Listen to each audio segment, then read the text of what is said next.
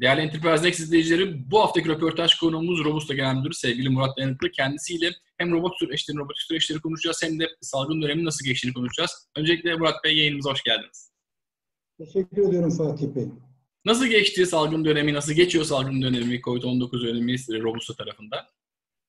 Ee, Robusta açısından e, şöyle girmek gerekirse olaya, e, aslında bu pandemi dönemi hiç beklemediğimiz bir olaydı. Hayatımıza beklemediğimiz an, T anında girdi ve birçok şirket e, başlangıçta ne yapacağını şaşırdı.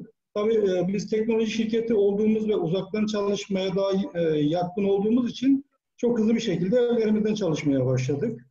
Ve e, müşterilerimizin e, iş devamlılığını sağlayabilmek için e, mevcut projelerimizi hiçbir şey olmamış gibi evlerimizden yapmaya devam ettik. E, başlangıçta e, e müşterilerimiz veya potansiyel müşterilerimiz e, paniği atlattıktan sonra dijital çalışanların önemini anlamaya başladılar ve aslında bizim umduğumuzdan daha fazla sayıda talep oluştu Robusta ve RPA teknolojileri konusunda. Bu talepleri anlayıp adreslemek, e, uzaktan artık toplantı yapma şeklinde aslında daha rahat bir şekilde oldu. Müşterilerimiz de bunu denediler ve daha çok sevdiklerini de düşünüyorum. E, çünkü birçok toplantı e, online olarak kısa bir şekilde e, halledilip kararlar hızlı bir şekilde alınıp hemen hayata geçirildi. Bu hem e, teknoloji sağlayıcısı hem de teknoloji kullanan müşteriler arasında çok verimli bir şekilde geçti. Tabii bizim için e, hem yeni müşteriler oldu. E, Zorlu grubunda başladık. İşte Borusan grubundan Supsan'da e, proje, yeni projelere başladık. Mevcutları sürdürdük ve pipeline'da sözleşme aşamasında olduğumuz e, birçok müşterimiz var. E, bunun dışında biz e, artık Robust'ların geldiği aşama açısından birçok müşterilerimiz var, referanslarımız oluştu. Ama artık hızlı büyümek tek başımıza yapabileceğimiz bir şey değil. Bunu biliyorduk. Pandemi dönemi aslında bize bunu ekosistemimizi yaratmak, iş ortakları kanallarımızı yaratmak anlamda da ciddi bir fırsat sağladı. Birçok teknoloji firmasıyla görüşüp onlarla işbirliği, danışmanlık firmalarıyla görüşüp onlarla işbirliği sağlanma imkanı bulduk bu dönemde. Ee, bu işbirliği e, kanallarımızı oluşturmamız artık Robusta'yı e, farklı bir aşamaya sokacak e, pandemi sonrasında. Çünkü daha fazla sayıda kanaldan müşterilere Robusta'yı götürebiliyor olacağız. Bu dönemde diğer önemli bir adımımız da tabii ki ürünlerin yaygınlaşması için en önemli şeylerden birisi de kolay öğrenme platformu, online öğrenme platformu. Bu dönemde Robust Akademi hayata geçirdik. Ee, şu andaki versiyonuyla sadece müşterilerimiz ve iş ortaklarımızla açtık. Ee, bir sonraki adım e, adımda da Community Edition'ı oluşturup aslında orada Community Edition e, ve Community yönetecek bir yapıya kavuşturmak. Ee, önümüzdeki dönemde de bunları hedefliyoruz. Süper. Akademi zaten çok önemli. Eğitim özellikle önemli. Çünkü RPA dediğiniz o robotik e, süreç otomasyonu konusunda insanların biraz daha bilinçlenmesi ve özellikle kurumsal anlamda çok önemli. Peki sohbet, siz de e, röportaj önceki sohbetimizde bir yurt dışı açılımından da bahsettiniz. Nasıl bir planınız var yurt dışı ile ilgili Robust olarak? E, Robust'ta e, kurulduğundan itibaren en önemli şeyler e, gündemimiz e, burada Türkiye'de yerli bir ürün e, oluştu ve Türk müşterilerde memnuniyeti sağladıktan sonraki e, Türkiye'deki e, IT ortamı zor. E, Türkiye'deki kendini ispatlamış bir ürün yurt dışında çok rahatlıkla alıcı bulur vizyonuyla aslında biz e, Türkiye'de bu ürünü geliştirme kararı almıştık ki bu e, pandemi döneminde yurt dışında da birçok müşteriyle de görüşme e, ve e, potansiyel iş ortaklarıyla görüşme imkanımız bulduk. Ve bu e, düşüncemizi doğruladık. E, görüşmüş olduğumuz e, müşteriler ve e, iş ortakları Robusta'yı oldukça benimsediler. Ve şu anda e, önemli hem Avrupa'da, e, Avrupa Birliği bünyesinde hem de Orta Doğu'da Robusta'yı bu bölgelere götürebilecek önemli e, iş ortaklarıyla görüşmelerimiz oldu. E, anlaşma aşamasında olduğumuz iş ortaklarımız var. E, son çeyrekte artık e, ilk ofisimizi Hollanda'da açmak için e, çalışmalara başladık. Ee, şu anda onun çalışmalarını yürütüyoruz. Ee, aslında bize işte e, birkaç ay içinde Robust'a somut olarak yurt dışında faaliyetlerine e, başlayacak.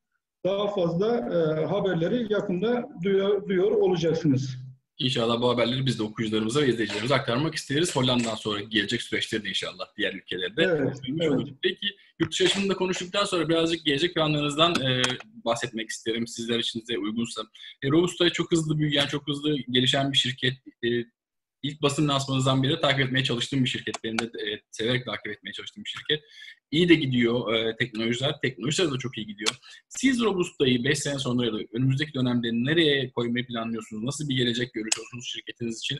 Hem salgın dönemi sonrasında hem de önümüzdeki 5 yıl dönem için. Evet. E, güzel bir soru. Teşekkürler Fatih Bey. Şimdi biz e, aslında e, bu ürünü, RP ürünümüzü geliştirmeye başladığımızda e, rekabette bu ürünü geliştiren başka bir sürü firma vardı. Buna rağmen biz bu alana yatırım yaptık. Çünkü şunu çok iyi biliyorduk. Aslında e, RPA'ler daha çok kural bazlı işlerin otomasyonu için e, geliştirilmiş ürünler. Ama asıl e, işte bundan sonra yapay zeka e, teknolojilerinin için ürünün içinde embed ettiğimiz, e, kendi kendine öğrenebilen ve e, veriyi analiz ederek o veriden karar alma e, süreçlerini daha fazla destekleyebilecek alanlara doğru evrileceğini, daha doğrusu gerçek bir dijital çalışana doğru evrileceği konusunda e, oldukça e, ümitli olarak aslında biz bu alana yatırım yaptık ve bu beklentilerimiz artık e, ete kemiğe bürünmeye başladı. E, bu alanda e, birçok e, teknolojiyi yenilikçi teknoloji RP ürünlerinin içine e, embed edilmiş, e, gömülmüş durumda. E, biz de artık bundan sonra ürünümüzün olgunluk seviyesi global ürünlerle aynı olgunluk seviyesinde ve bazı konularda oldukça daha iyi olduğumuz alanlar var.